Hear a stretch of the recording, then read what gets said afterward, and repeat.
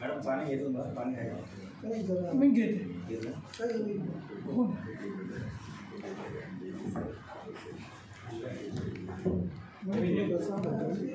एक मिनिट दूसरा फ़ोन दूसरा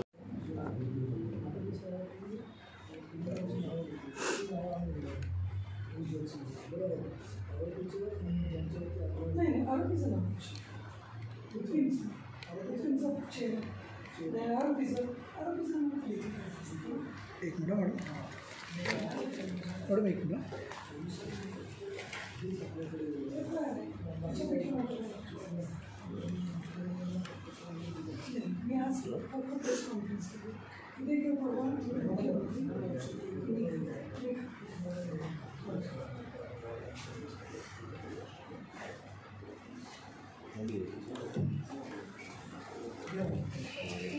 जो तलाक तलाक का जो क्लेम कर रहे थे बिना साइन का पेपर है। बिना साइन का।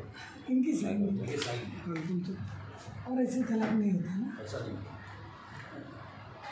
फैमिली कोर्ट में मूव नहीं नहीं नहीं, कुछ भी नहीं। एक साइन है कोई इनकी नहीं कैसे क्लेम कर रहे थे पुलिस को भी सबमिट किया डॉक्यूमेंट नहीं किया।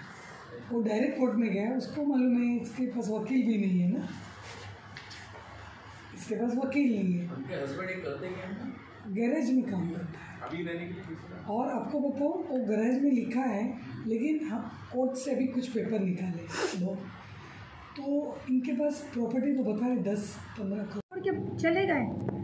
बट एक ही जो कपड़ा मिला जो सामान मिला लेके हम लोग चले गए वहाँ से। क्योंकि मुझे मेरे बच्चों का डर- बेटी का डर ज़्यादा था। बेटा तो चलो सहम गया था वो भी कि मम्मी आपके साथ ऐसे किए पापा ने हो सकता है जेबा के साथ करने के लिए भी डरेंगे नहीं मेरी बेटी के साथ।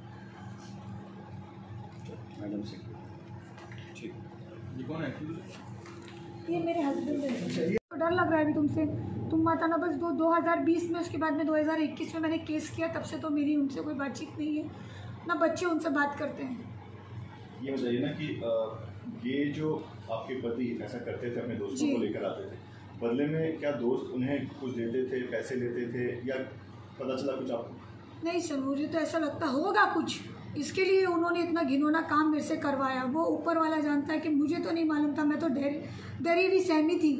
मेरे कपड़े निकाल के उन्होंने बेरहमी से मेरा किया तो मैं खुद शौक थी कि मेरे साथ जो हो रहा है, मैं किसको बताऊँ?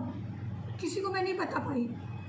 और मैं वो जब आते तो डरती थी कि आज क्या होगा, अब किसको लेकर आएगा वो? अब मेरे साथ क्या गलत करेगा? ये जो आपके पति के दोस्त थे, क्या उनको आप पहले से जानती थी? और किस तरह के दोस्त थे? नहीं नहीं मैंने मैंने उनको कभी मिला नहीं था मैंने उनको कभी देखा नहीं था। एग्रीमेंट जब बना था एनओसी में विटनेस का जो रहता है वो दोनों विटनेस बने थे घर के। तब मैंने उनको देखा था मुश्ताक अमान शेख इमरान अमान शेख को। पहली बार जब घर लिए तो ही वो लोग सामने जी जी। क्या है? मेरा नाम मिसेस असलम कुरैशी है। आज जो आप पीसी लेने, ली थी आपने, उसका कारण क्या है? क्या है इसके कारण आपने पीसी ली है? क्या कहना चाहेंगे? मैं, मैंने जो ये जो एफ़ आई आर डाला है, मेरे हस्बैंड ने जो मेरे पे रेप किया उनके दोस्तों के साथ, उसकी वजह से मुझे कोई वहाँ से न्याय नहीं मिला। मुझे वहाँ पे इन्वेस्टिगेशन वाले आए हो स्मिता पवार मैडम। उन्होंने मुझे कुछ वहाँ से रिस्पांस नहीं दिया। मुझे बार बार रात रात भर दिन दिन भर जब भी चाहे उन्होंने बुला के मुझे बिठाया वहाँ पर। तो मैं समझ नहीं पा रही हूँ कि मेरे साथ हो क्या रहा है। मैं सब जगह तो न्याय की गुहार लगा रही हूँ, लेकिन मुझे क्यों नहीं आगे इंसाफ मिल रहा है? मुझे ये बात से मैं खुद भी डर डर चुकी हूँ कि मेरे बच्चों का क्या होगा आगे। इसके लिए मैं सब जगह गई हूँ। मुझे सीनियर की तरफ़ से भी कुछ रिस्पॉन्स नहीं मिला। और आयु मैडम ने तो इतना परेशान किया कि मैं बता नहीं सकती हूँ कि इतने बार बार जाने के बावजूद भी कुछ मुझे न्याय अब तक नहीं मिला। इसके खिलाफ आपने किसी को बताया नहीं कि किसी को बोला होगा? आपके घर वाले फैमिली में किसी को बोला होगा ना? जी नहीं मैंने किसी को भी नहीं मेरे बच्चों को पता है बस क्योंकि मेरे माँ बाप नहीं है। 2021 में मेरे दोनों बहनों का डेथ हो गया पंद्रह दिन में। तो मैं सहम गई हूँ कि मैंने किसी को बताया नहीं और है ही नहीं तो किसी को बताऊँगी। तो कितने साल से चल रहा था ये कि अभी अभी हुआ है? ये 2020 की बात है जो मेरे हस्बैंड ने मेरे साथ किया है। और 2021 में जब मैंने डीवी का केस किया था उनके ऊपर बच्चों की खातिर कि बच्चों को कुछ मिले मेरी तो ज़िंदगी उन्होंने ख़राब कर दिया। तब उन्होंने एक पेपर शो किया 2009 में कि उन्होंने मुझे डाइवोर्स दिया बल्कि ऐसा कुछ हुआ ही नहीं। तो मुझे ऐसा लगा कि अब मुझे तो इंसाफ की लड़ाई लड़ना मेरे बच्चों की खातिर नहीं तो आज मैं रुकी तो मेरे बच्ची बेटी के साथ भी वो करना डरेगा नहीं। तो आपके हस्बैंड का नाम क्या है? मेरे हस्बैंड का नाम है अब असलम अब्दुल हाफिज़ कुरेशी। अच्छा और जो लोग आते हैं उन आरोपी का आपको नाम पता है? जी। बोलिए। उनका नाम है मुश्ताक अमान शेख और इमरान अमान शेख। जब उन्होंने घर लिया था 2020 में कोपर खेलना में तो वो विटनेस के तौर पे आए थे। उस दिन भी मैंने उनको देखा। उसके बाद मैंने मतलब कभी मैंने जाना नहीं कौन है ये, मैं नहीं जानती थी।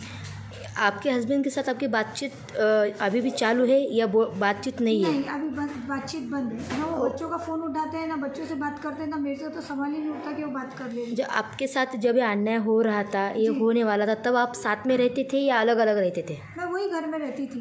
उनके मतलब साथ? हाँ उनके साथ ही थी। कहाँ जाऊँ? कोविड के टाइम पे कौन संभालेगा? कोविड का सिचुएशन था। तो मैं कहीं निकल नहीं पाई।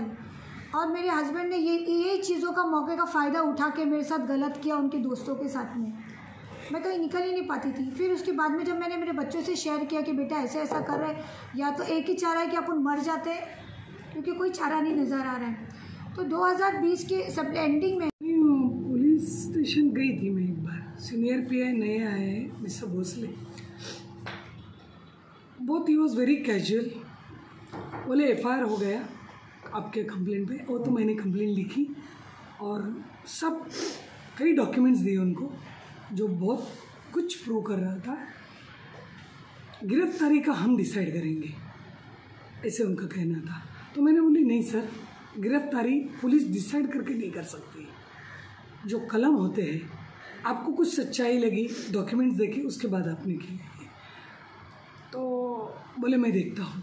और फिर मुझे लगा, बहुत कैजुअल बिहेवियर था। फिर मैंने उनसे बात की। से उनके मैं मैंने ये सोचा कि एक महीना होने को आया है लेकिन अब तक क्या है यानी इतना सीरियस ऑफेंस है। इतना कुछ महिलाओं के लिए चल- शुरू है और एक टीचर है वो तो क्या होगा? मैं जॉइंट सीपी मिस्टर जादव है। उनको मिलने के लिए गई थी अट्ठाईस तारीख को। तो अट्ठाईस तारीख को मुझे समझा वहाँ पहुँचने के बाद ऑफ़िस में वो छुट्टी पे थे। तो उनका चार्ज था मिस्टर ध्रुवे उनको मैं मिली। उनको मैंने एफ़ पूरा पढ़ के बताया। और बोले, इतना सीरियस ऑफेंस है, क्या हुआ? कैसे कुछ नहीं हुआ अभी तक? उन्होंने मेरे सामने डीसीपी पानसरे उनके जोन के जो है, उनसे बात की और मुझे कहा कि अब भी के अभी मैडम आपके पास आएँगी। तो मुझे जाने के लिए कहा उनके पास। और मैं बिज़ी थी, उसके बावजूद मैं चली गई कि इशू बहुत सीरियस है। शंभूर से बहुत दूर, मेरे को विटी से, कैसे जाऊँ मैं? मैं चली गई उनको, मिली मैं। और मैंने कहा, सर, ये है। मेरे सामने उन्होंने, मेरी बहुत क्लियर साफ़ कंप्लेंट थी कि आयो बहुत बुरी तरह से आरोपी को मिली है। जिस दिन एफआईआर लिख रहे थे, उस वक्त इनके सामने इनसे नंबर लिया। अभी वो दो लोगों का नंबर तो आरोपी का इनके पास नहीं था। आयो का तो आयो आरोपी से बात कर रही थी। तो मुझे पहले दिन से थोड़ा, लेकिन मुझे नहीं लगा कि इतना इशू तो इतना बहुत सीरियस है। तो मैंने डी साहब को कहा सर मुझे इतने साल की प्रैक्टिस में दो तीन केसेस ऐसे देखी। उसमें कि सबसे खतरनाक केस लग रही है क्योंकि मैंने मेरे कैमरे के सामने उस लड़की की स्टेटमेंट पाँच दिन से ली और उस औरत ने कभी एनसी की नहीं ज़िंदगी में पुलिस स्टेशन देखा नहीं है। ये औरत पूरा दिन आए वो आ, उसको बिठा के रखती है। उसका मतलब और कुछ है। और इनको लगातार बोलती थी वो, मेरे को स्टेटमेंट लेनी पड़ेगी। तो 376 में अकॉर्डिंग टू माय नॉलेज जो कानून का नॉलेज मुझे है, मैंने इतने सालों से बच्चों को पढ़ाया है, करीबन पचास हज़ार स्टूडेंट मेरे वकील हैं तो 376 में आरोपी की स्टेटमेंट नहीं होती, होनी नहीं चाहिए। और हुई तो भी गिरफ्तारी बहुत ज़रूरी होती है। अगर पुलिस ही सब कुछ बता रही है आरोपी को तो मुझे नहीं लगता कोई यानी कि इंसाफ की उम्मीद ज़ीरो परसेंट हो जाएगी लोगों की। चित्रा जी क्योंकि ये कह रही हैं कि इतने सालों के रिश्ते में कभी उस उन दोस्तों से ये मुलाकात नहीं की नहीं। नहीं पता था दोस्त। नहीं। क्या लगता है कि वाकई में ये दोस्त थे या कोई डील हुई थी? मैंने देखो अभी फ्रैंकली मैं उनके सामने बोलना नहीं चाहती थी मुझे लगता है डील हुई होगी। मुझे हंड्रेड परसेंट लगता है डील हुई होगी। जो मेरे माइंड में चल रहा था मैं लिखने वाली भी थी ये चीज़ें कि ये डील हुई है कोई। उसके सिवा नहीं इसके बदले ये उसके क्योंकि ऐसे नहीं होता नहीं तो। और जब उसको डरा रहे है एक औरत को वो शादी नहीं कर रही है बारह तेरह साल से। वो बच्चों को लेके पा, पाल रही है। भी अठारह साल की जवान लड़की है। उसको कॉल सेंटर में काम पे नाइट भाई और बहन जा रहे हैं। वो अपना पेट पाल रहे हैं। वो वो बिना शादी के रह रही है। वो वही उम्मीद लेके रह रहे कि ठीक है आज ना कल वो हस्बैंड है। मेरे बच्चे लोगों को कुछ होगा मेरा कुछ होगा। ये मुझे लग रहा है डील हुआ है। कोई डील हुआ है।